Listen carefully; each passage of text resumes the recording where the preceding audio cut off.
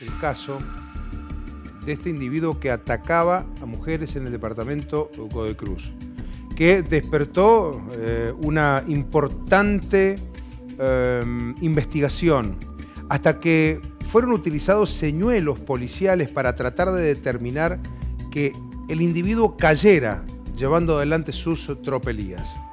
Finalmente fue identificado.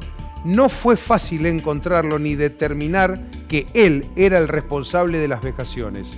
Hoy fue condenado. Con Sofía Gainza Conocemos detalles. Estamos hablando de Pablo José Antonio Navarro, un sujeto de 35 años que fue detenido en febrero de este año y que en el día de hoy en el marco de un juicio abreviado porque admitió los hechos que se le indilgaban fue condenado a 23 años de prisión. Recordemos, fue en diciembre del año pasado cuando dábamos a conocer la primera denuncia de abuso sexual y de robo agravado que tenía lugar en el departamento de Godoy Cruz. Y acto seguido, y a partir de la viralización que también tuvo esa denuncia en Godoy Cruz, empezaron a surgir otras acusaciones similares y todas compartían el mismo modus operandi. Un sujeto de unos 30 años de edad que circulaba en moto, con casco y que abordaba a las víctimas en la vía pública y bajo amenaza de arma de fuego las reducía, las sometía sexualmente y luego les robaba. Actuaba en un cuadrante de acción delimitado por las calles Perito Moreno hasta Lem de Godecruz y desde Sarmiento a Rawson, abarcando incluso parte de los distritos,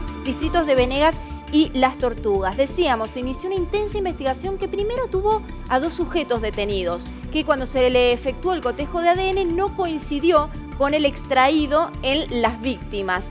Luego finalmente siguió y como bien indicaba Fernando, incluso se utilizó a una mujer policía que se disfrazó de colegiala, de estudiante de, secundaria, para justamente atraer al delincuente y eso funcionó. Sin embargo, decíamos, dos sujetos primero detenidos que no correspondían con el autor de los hechos y el tercero, finalmente, el hoy imputado, sí coincidió, dio su cotejo de ADN positivo en tres víctimas y se le imputó en ese momento por tres hechos de abuso sexual con acceso carnal y robo agravado por el uso de arma de fuego. Luego se sumaron otras denuncias y se logró concatenar todo y nueve delitos fueron los que hoy se le endilgaron a esta persona Nueve delitos, reiteramos, de abuso sexual con acceso carnal y robo agravado por el uso de arma de fuego. El hombre admitió los hechos y por tal motivo en un juicio abreviado se lo condenó a 23 años de prisión. Gracias, Sofía.